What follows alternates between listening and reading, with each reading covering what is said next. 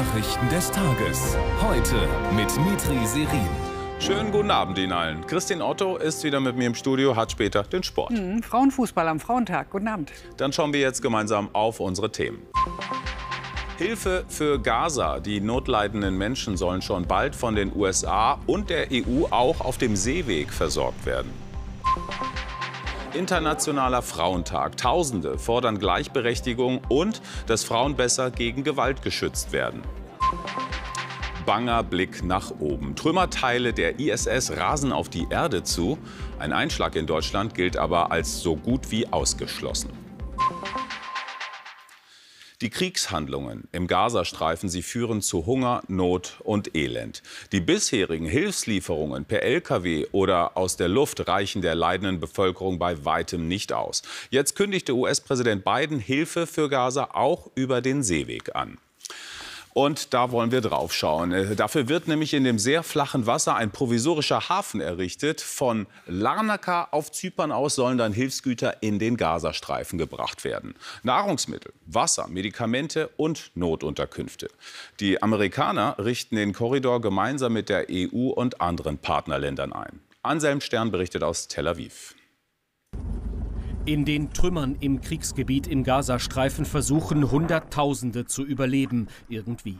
Essen, Medizin, Hilfe kam bislang vielerorts gar nicht oder viel zu wenig, etwa aus der Luft. Bald, so die Hoffnung, soll nun endlich mehr ankommen, per Schiff. Von Zypern aus. EU-Kommissionspräsidentin Ursula von der Leyen heute im Hafen von Larnaca verspricht, wir stehen jetzt kurz davor, diesen Korridor zu öffnen, hoffentlich Samstag oder Sonntag. An Gazas Küste könnten also bald erst einmal einzelne Lieferungen ankommen, wo und wie genau? Unklar. In einigen Wochen soll es dann einen großen Nothafen geben für große Schiffe, gebaut von US-Soldaten. Heute Abend weise ich das US-Militär an, eine Notmission zu starten, um einen temporären Hafen an der Gazaküste einzurichten, der große Lieferungen empfangen kann, Essen, Wasser, Medizin, Notunterkünfte die Not der Menschen zumindest lindern. Doch wer soll wie die neuen Hilfslieferungen verteilen? Mitten im Chaos aus Verzweiflung und Hunger, darauf gab und gibt es noch keine Antwort. Es werden sich Menschen tatsächlich aus Verzweiflung um Hilfsgüter streiten. Und Dabei wird es dazu kommen, dass nicht unbedingt die Menschen, die die Hilfe am dringendsten benötigen, die Hilfe bekommen, sondern die, die am stärksten sind und sich durchsetzen können. Neue Tote bei der Verteilung könnte es geben und doch viel mehr Hilfe muss kommen. Im Süden des Gazastreifens denken die Menschen in ihren Zelten heute an die im Norden, die gar nichts haben. Wir sagen Ja zu jeder Hilfe für die Menschen im nördlichen Gazastreifen, denn sie benötigen die Hilfe am dringendsten, egal ob sie über Land, das Meer oder aus der Luft kommt. Nach mehr als 150 Tagen Krieg sind mehr als zwei Millionen Menschen auf Hilfe angewiesen im Gazastreifen. Mehr als 570.000 von ihnen droht bereits jetzt eine Hungersnot. Wir gehen nach Brüssel zu Ulf äh, Röller. Ulf, die EU ist beim Gazakrieg gespalten. Was bedeutet diese Hilfsaktion jetzt für die europäische Nahostpolitik? Ich glaube, die Seebrücke hilft der EU sehr stark, ein einheitliches Bild abzugeben, ein Bild der Geschlossenheit. Das war nicht immer der Fall. Beim Nahostkonflikt und beim Gaza-Konflikt ist eben die EU zerstritten. Da gibt es einmal den Block sehr viele Länder, die sehr israelkritisch sind. Und es gibt den kleinen Block, der auch noch kleiner wird, angeführt von Deutschland, die Israel verteidigen, aber auch diesen Militäreinsatz immer kritischer sehen. Was passiert jetzt? Man wird bei den Hilfsgütern sehr schnell agieren. Wir hören aus Brüssel, dass erstmal ein kleineres Schiff nach Gaza-Hafen geschickt wird, weil das Wasser sehr seicht ist und es darf keinen großen Tiefgang haben, also nur mit wenigen Hilfsgütern. Und dann sollen die größeren Schiffe relativ schnell folgen. Und aus Berlin hören wir, dass die Bundesregierung sich mit Sicherheit mit Hilfsgütertransporten helfen wird und mitmachen wird. Ob man auch Schiffe für den Transport bereitstellt oder auch Schiffe zur Absicherung der Transporte, wird noch abgewogen. Also das Fazit, es wird diese Seebrücke geben und sie Sie wird sehr schnell jetzt mit Hilfe kommen. Aber das ist auch eine Tatsache. Sie wird das Leiden der Menschen in der Region nur lindern, nicht stoppen. Dankeschön nach Brüssel, Ulf Röller. Wie Hilfe nach Gaza gelangen kann, dieser Frage geht auch ZDF heute live nach um 19.30 Uhr in der App und auf unseren Social-Media-Kanälen. Ja, die Initiative zur Gaza-Hilfe, die machte der US-Präsident, wie am Anfang gesehen, heute Nacht in seiner Rede zur Lage der Nation publik. Alles, was Biden sagt und tut, bekommt in diesem US-Wahljahr ja noch mehr Gewicht als sonst. Besonders im Fokus steht seine Fitness. Sein hohes Alter wird nämlich nicht nur beim politischen Gegner kritisch gesehen. Benjamin Daniel zeigt uns, wie Biden sich geschlagen hat. Er ist lebendig. Das schreibt sogar die konservative Boulevardzeitung New York Post. Wach, agil, schlagfertig, Worte, die man zum Auftritt des US-Präsidenten häufig hört. Die Rede von Joe Biden war besser, als das viele seiner eigenen Leute im Weißen Haus erwartet haben. Es ist eine State of the Union, eine Rede, zum äh, Zustand der Nation gewesen, die sehr viel politischer war, als wir das normalerweise kennen bei solchen Anlässen. Und das bedeutet einfach auch, dass der Wahlkampf bereits seine Schatten vorauswirft. In Anwesenheit des schwedischen Ministerpräsidenten, dessen Land gerade der NATO beigetreten ist, reagiert Biden auf die Kritik mancher, er sei nicht fit für eine zweite Amtszeit. Es komme nicht aufs Alter an, wichtig sei, keine veralteten schlechten Ideen zu haben. Eine aus Bidens Sicht ganz schlechte Idee wäre, die Unterstützung der Ukraine aufzugeben. Wenn sich die USA raushalten würden, wäre die Ukraine in großer Gefahr, wäre Europa in großer Gefahr, die ganze freie Welt. Es würde andere ermutigen zu tun, was sie wollen, um uns zu schaden. Meine Botschaft an Präsident Putin, den ich schon sehr lange kenne, ist simpel. Wir werden uns nicht raushalten. Biden betont die Erfolge seiner Wirtschaftspolitik, wirbt für ein Abtreibungsrecht und nutzt die große Bühne im Wahljahr auch für scharfe Worte Richtung Donald Trump.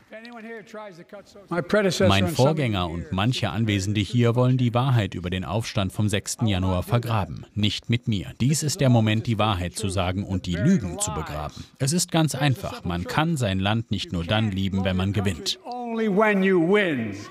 Biden beendet seine Rede zur Lage der Nation mit den gewohnten Worten: Gott segne Amerika. Mit der bevorstehenden US-Präsidentschaftswahl beschäftigt sich unter anderem auch das neue ZDF-Politbarometer. Matthias Frohnhoff ist bei uns im Studio. Guten Abend, Matthias. Das voraussichtliche Duell lautet ja Biden gegen Trump. Was glauben die Befragten, wer wohl gewinnt? Na, Donald Trump ist der klare Favorit. Fast 60 Prozent der Deutschen gehen davon aus, dass er der nächste US-Präsident wird. Und interessant dabei ist, vor vier Jahren war es genau andersrum. Da lag Joe Biden vorn zu diesem Zeitpunkt. Das ist ein interessanter Wechsel in der Position. Äh, wir kommen jetzt zur Taurus-Frage. Innerhalb der Bundesregierung ist das umstritten. Olaf Scholz lehnt das konsequent ab, anders als seine Partner. Wie sehen es die Bürgerinnen und Bürger? Naja, eine Lieferung des Taurus schürt die Sorge vor einer Ausweitung des Krieges zumal der Marschflugkörper von der Ukraine aus auch Moskau erreichen könnte. So sind nur 34 Prozent für die Lieferung des Taurus-Systems. Eine Mehrheit von 59 Prozent ist dagegen. Mehrheiten für die Lieferung gibt es nur bei den Anhängern der Grünen und der FDP. Das klare Nein von Kanzler Scholz zur Taurus-Lieferung trifft also die Stimmung und sorgt für eine etwas bessere Bewertung seiner Arbeit. Er macht seine Arbeit eher schlecht, finden allgemein 62 Prozent. Aber seine Ukraine-Politik finden 45 Prozent gut, 46 Prozent schlecht. Matthias, dann schauen wir noch auf die Sonntagsfrage. Wie sieht es da aus? Es gibt nur kleinere Veränderungen im Vergleich zur Umfrage vor zwei Wochen. Schauen wir es uns an. Die SPD käme auf 15 Prozent, die Union auf 30, beide unverändert. Grüne 15 plus 1, FDP 4 Prozent, AfD 18 minus 1, Linke 3 minus 1, Freie Wähler 3 und BSW 5 Prozent unverändert. Schwarz-Rot und Schwarz-Grün hätten eine Mehrheit, die regierende Ampel wie schon seit Monaten nicht. Dann vielen Dank für diesen Vorgeschmack, Matthias. Und ja. wie immer gibt es das komplette, das ausführliche ZDF-Politbarometer ab 22 Uhr im ZDF Heute-Journal. So, heute ist der 8. März, Internationaler Frauentag und Feiertag in Berlin und Mecklenburg-Vorpommern. Was Gleichberechtigung angeht, hat sich gesellschaftspolitisch zwar schon einiges getan, aber es gibt noch viel Luft nach oben. Denn faktisch existiert in vielen Bereichen keine Gleichstellung zwischen Frauen und Männern, etwa bei der Bezahlung. Aus diesem Grund sind auch in Berlin Tausende auf die Straßen gegangen. Die Protestierenden forderten unter anderem bessere Lebens- und Arbeitsbedingungen. Arbeitsbedingungen für Frauen. Für viele Frauen gehört leider auch Gewalt zum Alltag, vor allem in der Partnerschaft. Im Jahr 2022 hat das Bundeskriminalamt mehr als 240.000 Fälle von häuslicher Gewalt dokumentiert und alle Experten gehen von einer hohen Dunkelziffer aus. Sabine Komm hat eine Frau getroffen, die der Gewalt entkommen konnte. Das ist jetzt ihr neues Zuhause. Rabia Haidari und ihre Kinder leben im Frauenhaus. Wo genau, ist geheim. Ihr Ex-Partner soll sie nicht finden. Die 42-Jährige ist schon als Kind von Montenegro nach Deutschland gekommen. Nie hätte sie gedacht, dass sie eines Tages so viel Gewalt erlebt. Beleidigungen, Hass, Schläge. Richtig Faust, richtig. Vor Kindern. Kinder haben angefangen zu weinen. Mama, Mama, Mama. Da habe ich die Kinder da gelassen. Ich wollte mein Leben retten erstmal. Gewalterfahrungen, die Frauen in allen gesellschaftlichen Schichten erleben. Bundesweit gibt es 336 Frauenhäuser, doch mehr als 14.000 Plätze für von akuter Gewalt bedrohte Frauen und Kinder fehlen. Viele Schutzeinrichtungen sind am Limit hier zur Ruhe zu kommen und das Trauma zu verarbeiten, nicht einfach, wenn sich eine Mutter mit ihren Kindern ein Zimmer teilen muss. Und das über Wochen und Monate. Ich wünsche mir, dass die Frauenhäuser äh, besser finanziert werden ausreichend finanziert werden und die Frauen und Kinder auch adäquat untergebracht und würdig untergebracht weil, äh, werden können, weil sie sind Opfer, sie sind nicht die Täter. Rabia Haidari hat nach jahrelanger Gewalterfahrung wieder Pläne für die Zukunft. Sie will sich einen Job suchen und neu durchstarten. Ich möchte einfach mein Leben leben jetzt, schön sparen, mit meinen Kindern Urlaub gehen. Das, was ich erlebt habe bei ihnen, möchte ich es nicht mehr. Ich möchte einfach selber mit meinen Kindern glücklich werden. Raus aus der Gewaltspirale. Rabia Haidari hofft auf eine angstfreie Zukunft, so wie Zehntausende andere verfolgte und geschlagene Frauen auch. Der Lokführerausstand ist zwar erstmal wieder vorbei, aber der nächste Streik könnte schon bald folgen und zwar mit deutlich weniger Vorlauf, so hat es Gewerkschaftschef Wieselski angedroht. Das macht es Zugreisenden und Pendlern noch schwerer zu planen.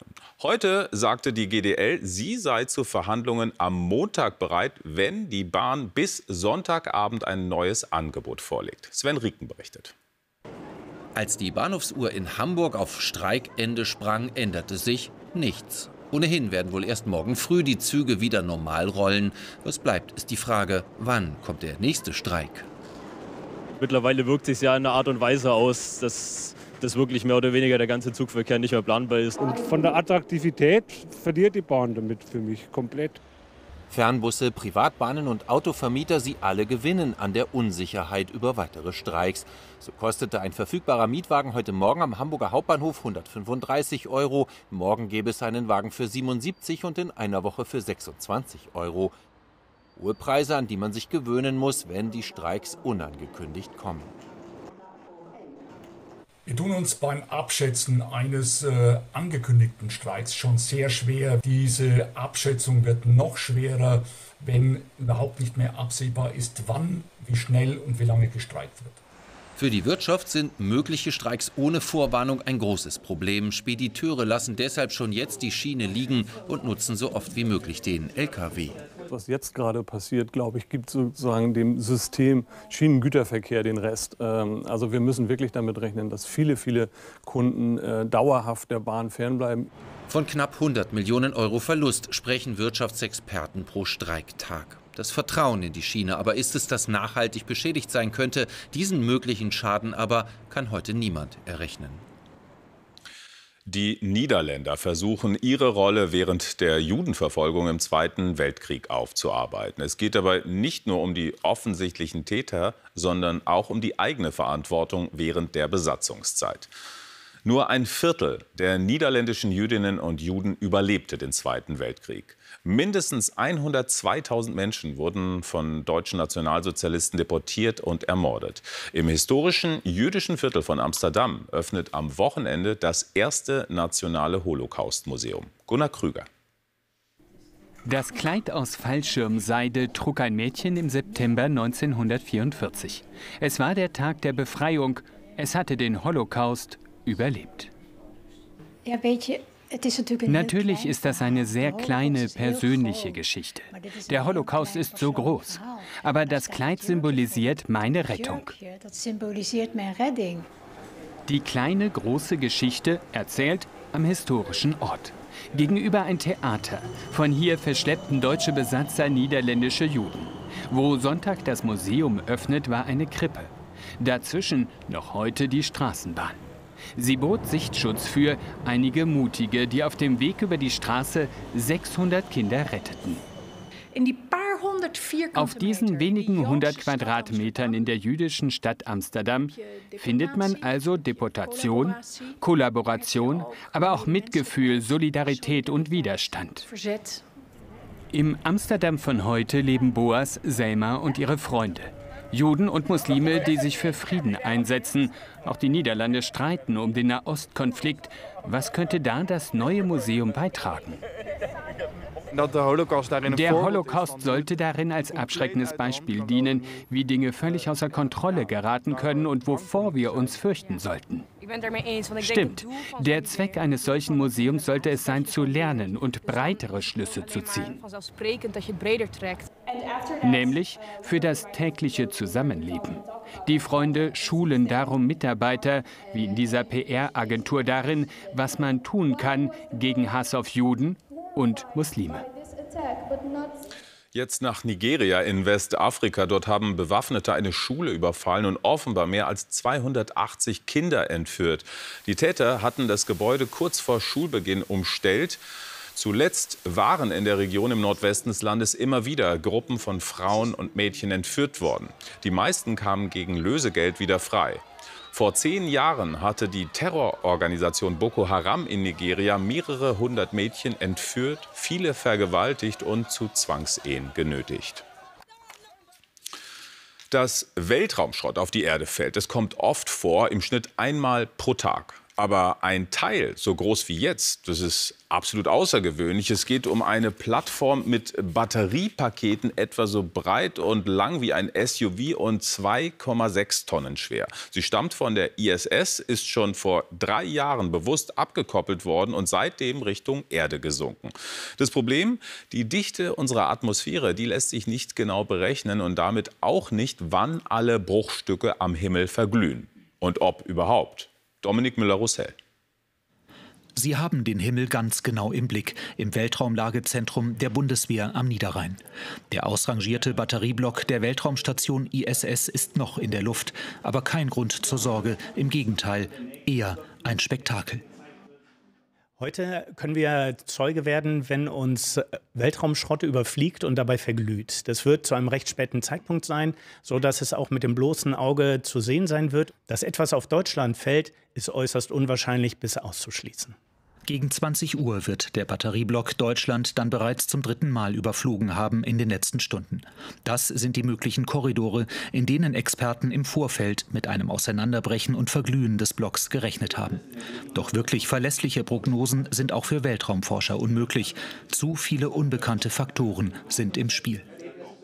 Uns fehlen Daten äh, zur Atmosphärendichte, äh, Zustand der Thermosphäre, die sich tageszeitlich und regional sehr stark ändern, die aber hauptsächlich für die Bremsung des Objektes auch zuständig sind. Regelmäßig verglühen ausrangierte Satelliten am Himmel. Und genau so soll eben auch der alte Batterieblock vollständig verglühen, erläutert Astronaut Alexander Gerst das Vorhaben. Es ist äh, ab und zu so, dass äh, man von der Raumstation Dinge äh, mit zur Erde bringt, um sie nicht als Weltraumschrott enden zu lassen. Das ist äh, die beste Anweise, um äh, Weltraumschrott zu vermeiden. Das ist im Prinzip eine positive Sache. Ein Blick in den Himmel könnte sich heute Abend lohnen, um Leuchtspuren zu erspähen. Und falls Trümmerteile doch die Erde erreichen sollten, dann, sagen Experten, vermutlich vor der Küste Kanadas. Das ist weit weg von uns. Zuversicht in der Fußball-Europa League. Christine, Bayer Leverkusen und der SC Freiburg sind auf Kurs Richtung Viertelfinale. Mm, Leverkusen 2-2 war ein bisschen knifflig, aber der SC Freiburg kann sich kommenden Donnerstagabend einen Traum erfüllen und erstmalig in die Runde der besten acht der Europa League einziehen. Die Ausgangsposition ist ganz gut, denn diesmal wurde West Ham United besiegt. Alle guten Dinge sind, so sagt man oft, drei. Was zu beweisen war. Gestern in Freiburg die Breisgauer nach zwei Niederlagen in der Gruppenphase zum dritten Mal gegen West Ham die Chancenverwertung anfangs mies. Der Trainer schlecht gelaunt, dank seines Torwarts Atobolu stand wenigstens die Null. Und in der 81. Minute traf dann Freiburgs Österreicher Gregoritsch so etwas wie der Mr. Europacup der Breisgauer Kicker in dieser Saison 1 zu 0, knapper Sieg am Ende.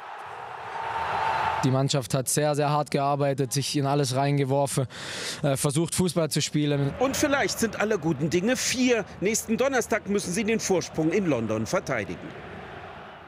Christian Wück wird nach den Olympischen Sommerspielen neuer Bundestrainer der Frauennationalmannschaft. Der 50-Jährige betreut seit 2012 verschiedene DFB-Nachwuchsteams und hat die U17-Auswahl der Männer vergangenes Jahr zum EM- und WM-Titel geführt.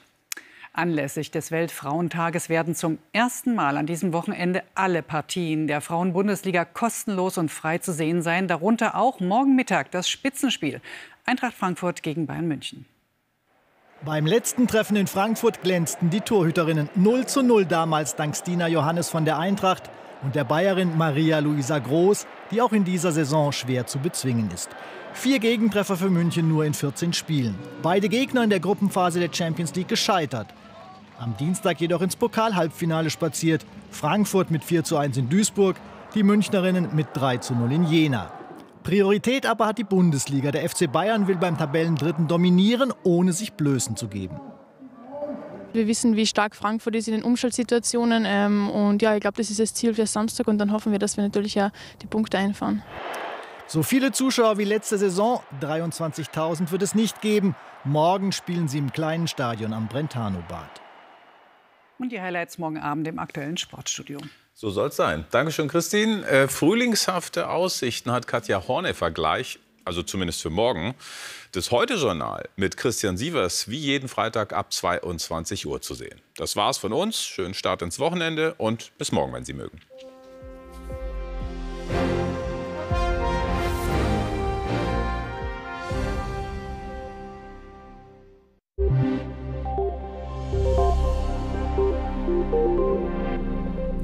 Guten Abend. Heute strahlte die Sonne am Nachmittag von der Ostsee bis zum Oberrhein. Selten hielten sich Nebelfelder auch mal länger, wie hier im Schwarzwald oder auch auf der Schwäbischen Alb. Am Oberrhein wurden 14 Grad erreicht und damit war es bei uns zum Teil milder als in Kroatien, Teilen von Südfrankreich und Portugal. Jetzt kommen von Südwesten in der Nacht hohe Wolken heran. Häufig ist es aber auch klar, selten bildet sich etwas Nebel und an der Küste weht ein böiger Ostwind. Das wird wieder eine recht kalte Nacht mit Tiefstemperaturen zwischen plus 4 und minus 3 Grad. Und morgen erwarten uns Höchsttemperaturen zwischen 6 Grad an der Ostsee und 16 Grad am Oberrhein. Und morgen ziehen dann hohe Wolkenfelder von Südwest nach Nordost über uns hinweg. Zwischendurch werden sie aber auch schön die Sonne zu Gesicht bekommen. Der Wind kommt aus südöstlichen bis östlichen Richtungen. Am Sonntag werden dann die Wolkenfelder doch etwas dichter werden und spätestens am Nachmittag und zum Abend wird es dann westlich des Rheins und auch im südwestlichen Baden-Württemberg und am Alpenrand etwas regnen bei Temperaturen von 7 bis 16 Grad. Guten Abend.